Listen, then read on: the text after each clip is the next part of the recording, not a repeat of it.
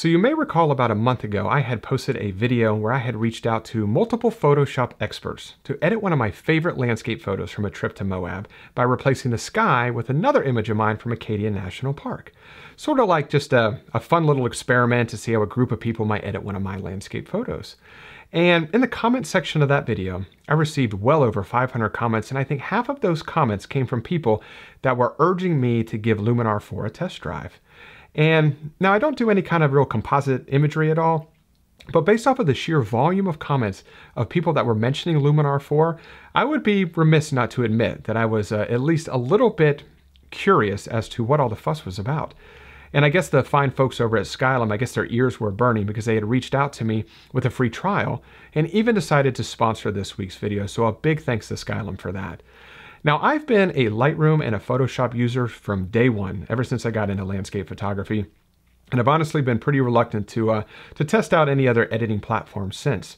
But after using Luminar 4 for the past three, yeah, maybe about three weeks now, I can honestly say that it wasn't exactly 100% what I was anticipating. I was under the original impression that Luminar 4 was uh, this kind of standalone program but I quickly found out that it could easily be used as a plugin for both Lightroom and Photoshop, which honestly, I personally find that to be very comforting just to know that I can implement this into my current post-processing workflow without having to alter everything. Now at the end of this video, if you want to give Luminar 4 a try as well, Skylum was kind enough to provide a link in the description so you can get a seven day free trial as well. And if you uh, want to purchase it at the end of that trial, you can use promo code MarkDenney at checkout to get $10 off. And that's a perfect segue as well into one of my favorite aspects about Luminar 4 is the fact that it's not a subscription-based pricing model. You don't have to pay for this every single month. You just purchase it one time and it's yours. So I think that's absolutely fantastic. So to jump right into it, this is the, uh, the, the, the, library module, and you can see that these are the, the photographs that I have in Skylum, or in Luminar 4 right now. And if I double click on a photograph, we can go ahead and start to edit it. So I'm gonna come over here to the essential section. This is one of the sections I found most beneficial for the way that I edit photos. And the way that I normally would do this, I would come up to the light section, and in the essence of time, let's just drop this down to cloudy. I would increase the exposure some. I would drop the highlights down quite a bit, and I'd boost the shadows a little bit. And this also has this kind of smart contrast feature, which I think is pretty interesting as well. And I think for this photograph, I'm going to dial in a little bit of negative smart contrast, I think. And let's toggle this effect on and off. So this is where we started, and this is where we're at right now. And this is kind of like my normal workflow that I would go through. But I can reset all of that, and I can come down here to AI Enhance. And this is kind of one of the big features with Luminar 4 is this artificial intelligence. So I'm not even going to, to pretend that I am smart enough to understand all the wizardry that goes on underneath the hood to make this artificial intelligence work. All I know is that it can read the photograph and it knows how to enhance things in the photograph. It knows what should be enhanced and what shouldn't be enhanced. And it's pretty cool and it's a lot of fun to play with. And it saves you a ton of time as well. So here's a great example, AI accent. If I just start to slide this all the way up, I'm gonna take it to 100. You can see exactly what it did right there. It, uh, it uh, impacted the highlights. It impacted the shadows. It added contrast to the photograph. It impacted saturation, vibrance. It did a lot with just a singular slider. And if we come down here to AI Sky Enhancer, if you want to impact your sky a little bit more, I think this is really cool. It's only impacting the sky. So the artificial intelligence knows exactly what is the sky and what should be impacted and what should be left alone. So let's just kind of bring this back to a more manageable number, something a little bit more realistic. These are very powerful sliders, so you don't want to get too carried away. But in just this one section, these two sliders, we were able to go from this to this. From this before, straight out of camera, raw file, to this. And that is a huge time saver, just those two sliders. And I have found ever since I've been using Luminar 4 that that is now the first step that I use as far as my overall editing process. I don't even go to that light section anymore. I just go to the AI Enhance. So I think that's really cool. There's also this AI structure section, which you can kind of add three dimension to areas where there is structure. It's kind of like clarity a little bit, but it adds a, a little bit of contrast and it just kind of makes areas a little bit more defined. And it's pretty interesting how it works as well. So I'm going to turn this up quite a bit so you can really see it. And of course you wouldn't want to go that high with it, but this is just a good uh, representation of what it's doing. So this is before and after. And if you need to boost it even further, you can definitely do that as well. But I'm gonna kind of bring this down to something a little bit more realistic, maybe to about right there. Let's toggle this on and off. So this is before and after, before and after. And then you have your color section, which you have your saturation and vibrant slider right here. You have the ability to select individual color channels. So if we want to select blue and just kind of reduce the blue in the sky a little bit, we can definitely do that. Maybe we want to go for a moody, stormy, or dramatic look. We can reduce the luminance of those storm clouds some. We can shift the hue a little bit. This, this is where we started, and this is where we're at right now. And then there's this details enhancer. And what's really cool is Luminar 4 breaks it down between small details, medium-sized detail, and large-sized detail. So it's nice to have an individual slider for each size detail within an image. So, and I'll crank up the small size detail quite a bit so you can just easily see it. This is before and after, and you can really see it right through here, especially if I zoom in. So this is uh, before, after, before, and after. So that made a big difference right there. Going to bring it down a little bit right through there. And then you have the, the sharpen slider as well. If you just want to go ahead and sharpen the overall edges of your photograph, you can definitely do that. Now this next section right here, this landscape enhancer, I think this is really cool. And once again, this is one of those things that really makes Luminar 4 very unique and kind of sets it apart from any other type of editing platform out there. So there's this golden hour slider here, which I think is really neat. So if I just kind of crank this all the way up, you can see what it's doing. Give it a second to process, and I'll turn this on and off. So this is before and after. Before and after. So I think that is really great. Just kind of gives the illusion that that kind of golden light is hitting the landscape, just to kind of exaggerate whether it's a sunrise uh, shoot that you're happen to be photographing, or maybe it's a sunset time. So I'm just going to kind of bring that down just a little bit. And this foliage, I have a hard time saying that word, enhancer is pretty neat. You can kind of bring it up quite a bit. Let's change the hue.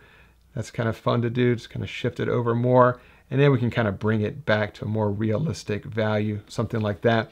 And then let's toggle this entire landscape enhancer section on and off. So this is before and after, before and after.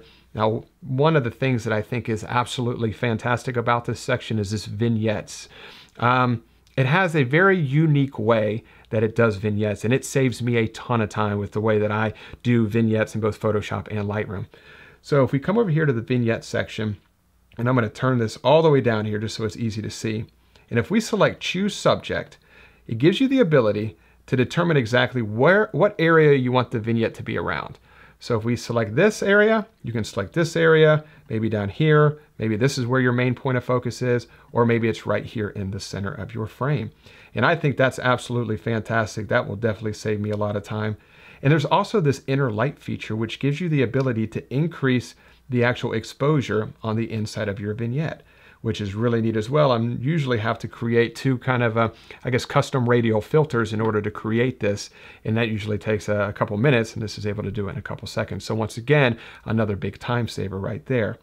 So I'm gonna go ahead and close this down and let's just check out where we started. So this is the before, this is the raw file straight out of camera and after. And there's also this really cool before and after slider. I love playing with this, where you can just kind of drag it back and forth to see exactly what you've done to the overall photograph. And I think that's great. So that's a huge difference in a relatively short amount of time. Now, the next section that I found most beneficial is the creative section. And this is where you can, well, you get pretty creative. You can add in um, additional skies. You can do the AI sky replacement. And once again, don't know exactly how it all works, but it works pretty well. And it's a ton of fun to play with as well. So I'm going to come over here to the creative tab. Let's pick this image right here, which is another image from Moab. And I really like this photograph, but I never shared it because the sky was just completely bland and it really ruined the overall photograph. And there is some light editing already done to this image, but let's just jump right up here to the AI sky replacement and select sky selection. And you can pick any of these different sky selections. You can even load your own custom sky image. Let's just pick this one right here, dramatic sunset. That looks amazing. That actually looks extremely realistic too with this scenario with the way the light is hitting this mountain. Let's select another one. Let's go to Dramatic Sunset 3. Boom. Do dramatic sunset 4. I think this is the one that I like the best for this particular image. Yes, I think this looked incredible. And what's really neat is you can select this relight scene and it's going to help you to kind of match the foreground with the overall uh, sky. So since this sky is definitely a, a setting sun, let's go ahead and um, just kind of relight the scene, just kind of dim it a little bit. There's also this sky defocus, so you can actually soften up the focus on the overall sky just to make it even more realistic. I'm just going to kind of bring that down just a touch right there. You can increase the, the sky temperature, which I think is very beneficial. You can increase the exposure of it as well. And what's a lot of fun is this sun rays section. So you can hit place sun center, and I'm going to put it right over here where the sun is. And then you can crank it up like that. Now that's definitely an overkill, but I wanted you to really be able to see it at home. You can do all kinds of uh, impact in so many different ways. The sun rays length, the overall look. I was definitely going to kind of dial it back a little bit because I just want to add just a little bit of glow right through there. Something like that I think looks pretty good. Maybe just kind of bring the sun rays length down just a touch. And something else right here, this matte look. Now this is a one of those things where it, it, it is a pretty popular trend, this matte look. You might have heard it called fading the shadows, where it just kind of gives that, that soft kind of painterly look. And Luminar 4 has an entire section dedicated just to it. So if we come up here and turn the amount slider up, we can introduce a little bit of fade as well. Maybe not quite that much. Turn this on and off. So this is before and after. And what's so interesting about this is when a lot of times whenever you achieve this look, you do it by reducing contrast. But there's actually a contrast slider built into this section, so I think that's fantastic. So if it starts to begin to look a little bit too flat, you can introduce a little bit of contrast and still retain that matte look. So this is before and after. And then mystical. Mystical is a little bit like an Orton effect. Uh, once again, trying to uh, create that kind of soften the, the overall look to get away from that kind of overly digital or crunchy look. Mystical is a way to just soften the overall image and give it that kind of ethereal feeling. So we can kind of, and I'll turn it up a lot so you can really get the effect of it. Maybe not quite that much, somewhere right around there. And we kind of increase the shadow some so the shadows don't get too blocked up and turn this on and off. So this is before and after, and that's really coming together. And then there's this glow as well, which is a lot like the Orton effect, we can do uh, soft focus bright, kind of turn this up and you can see what it's doing to the overall photograph. That's definitely a little bit too much. And then you also have soft focus, soft glow. So there's multiple different ways to create that kind of soft ethereal look. With, with, with landscape photography, the Orton effect and softening photos for that kind of dreamy look is a very popular approach. And I think I use some type of an Orton effect on just about every one of my photos. So it's a lot of fun to have so many different ways to create that. And if you want the actual Orton effect, that's built in too, right here in the portrait section. Whoops, here's the portrait section. We can select the Orton effect and just drag it up. And you can see exactly what it's doing. And there's two different types think I liked typed 2 the best for this one.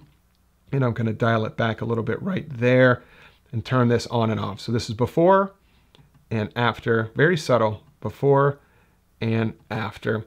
Shut this down. And the overall transformation of this photograph is absolutely incredible. You might not even remember exactly what it used to look like, but I'm gonna come up here to this before and after toggle button, and here it is. Before and after. Before and after. What a massive transformation. And here's that before and after slider. Super cool. I absolutely love that one.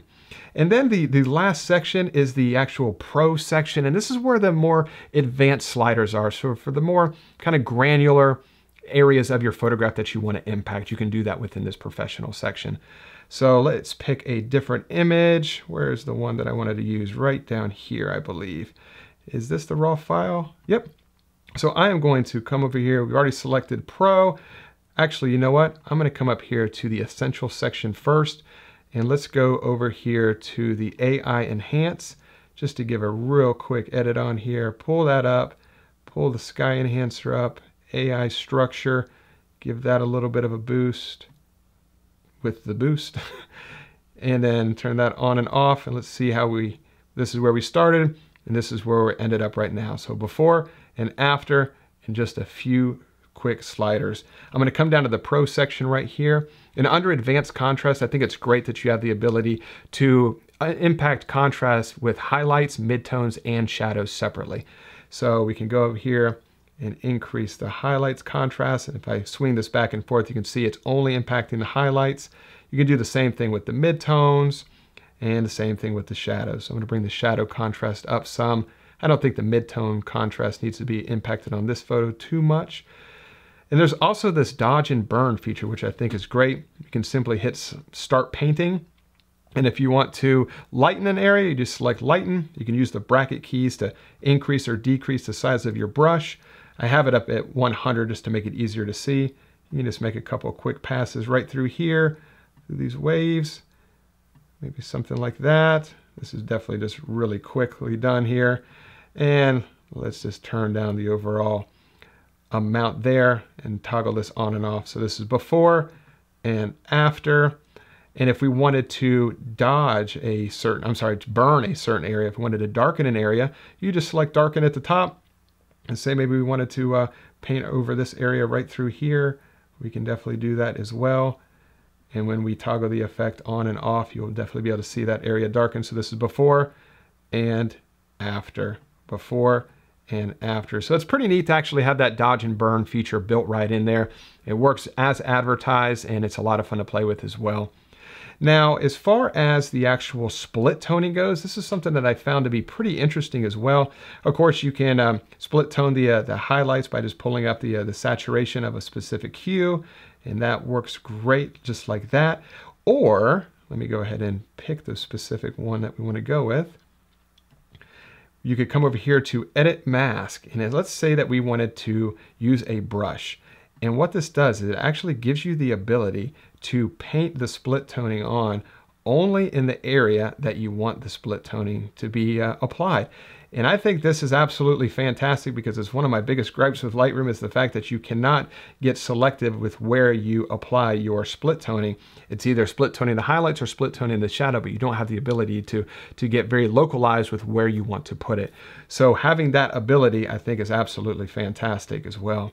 So that's just a, a real quick rundown of uh, the, the many features of Luminar 4. I could easily probably go on for another hour about all of the, the power that is packed into this uh, photo editing platform. So uh, I definitely hope that you were able to get some helpful information out of this. If you're not familiar with Luminar 4, like I mentioned at the beginning of the video, definitely check out the, uh, the link in the description below for a, uh, a free seven day trial edit with some of your photos, see if it's something that might save you a little bit of time. It's definitely a unique platform versus um, a lot of other things that are out on the market today. And it's also a ton of fun to play with, which at the end of the day is probably the most important part of it all.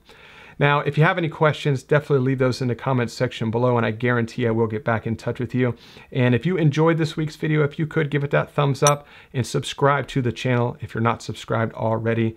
And as always, I really do appreciate you watching this week's video and I will see you all next Wednesday. Bye.